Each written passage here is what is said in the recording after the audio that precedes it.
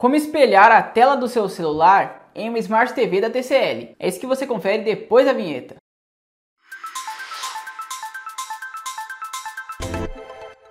E aí galera, tudo certo com vocês? Bem-vindos a mais um vídeo aqui do canal. Hoje trago mais uma dica para quem tem uma Smart TV da TCL. Nesse vídeo você vai aprender como espelhar a tela do seu celular direto na sua televisão. Antes de mais nada, para fazer isso é importante dizer que a sua Smart TV e também o seu celular precisam estar conectados na mesma rede.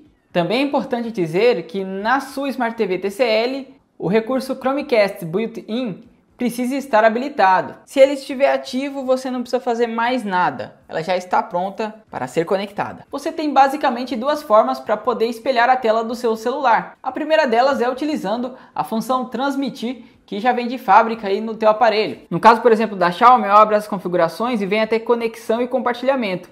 Depois, eu clico lá em display sem fio, ativo essa opção e já consigo espelhar a tela do meu celular na TV. Só que essa função muda de nome de acordo com a fabricante. Por exemplo, na Samsung ela tem o nome de Smart View. Mas existe um método mais eficiente e ainda mais fácil para poder fazer o espelhamento na TV que é utilizando o aplicativo Google Home. Com ele, em qualquer celular, você consegue espelhar a tela. E é muito fácil. O aplicativo é oficial do Google e o passo a passo eu te mostro a partir de agora. No seu celular, você vai baixar o aplicativo Google Home. Ele está disponível na Play Store.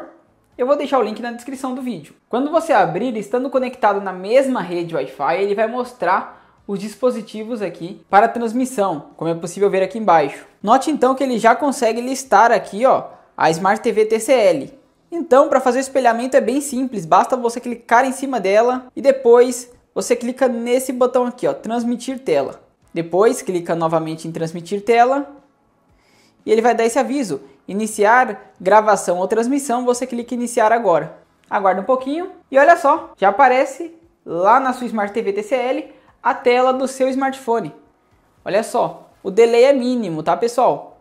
Olha só que legal. Então, ó, não tem segredo. Tudo que você estiver fazendo aqui no seu celular será mostrado lá na Smart TV. E depois que você fizer o espelhamento, quando você quiser parar, é bem simples. Basta você descer aqui a barra de notificações e aqui ele vai mostrar que está transmitindo a tela. É só você clicar aqui para expandir, ó.